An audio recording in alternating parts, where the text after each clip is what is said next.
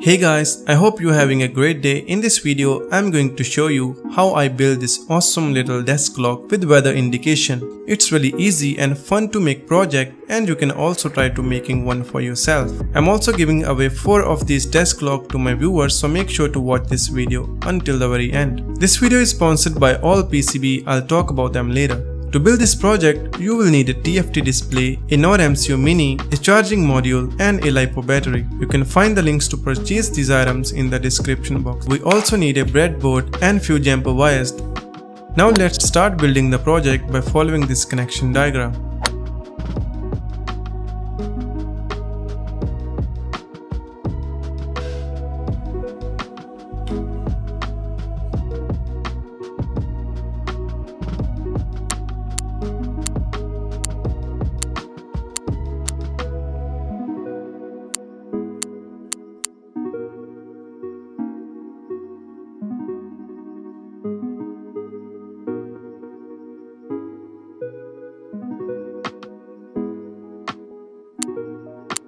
Alright guys, sample project is ready.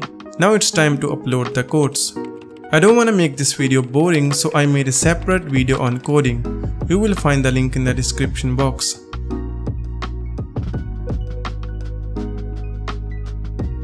As you can see guys, our project is ready and it's working great.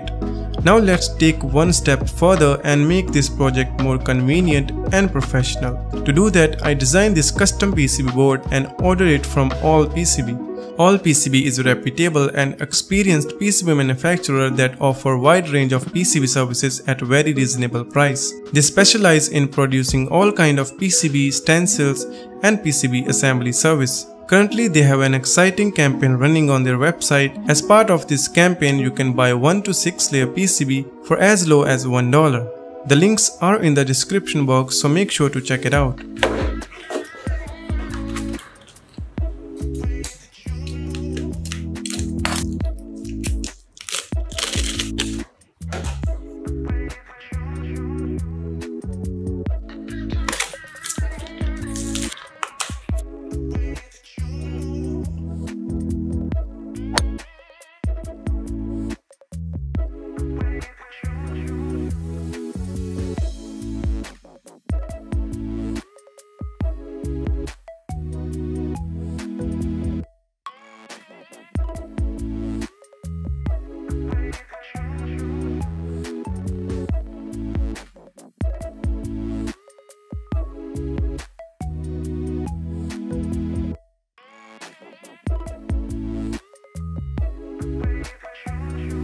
So as you can see guys, our project is now much smaller and more organized than before.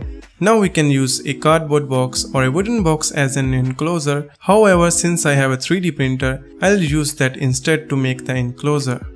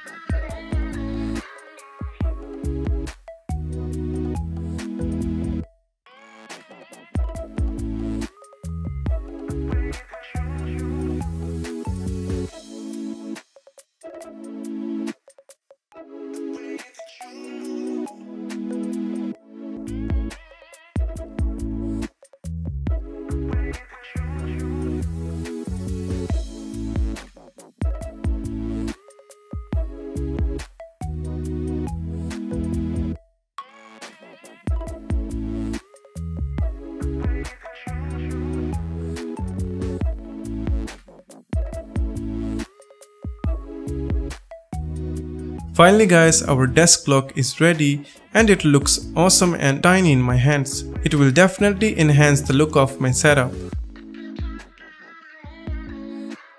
If you would like, I can provide you with an updated version of the code that includes additional features. Please let me know which specific feature you would like to add and I'll be happy to modify the code accordingly if possible. So that's it for this video guys. I hope you like this video. Thanks for watching. Bye bye.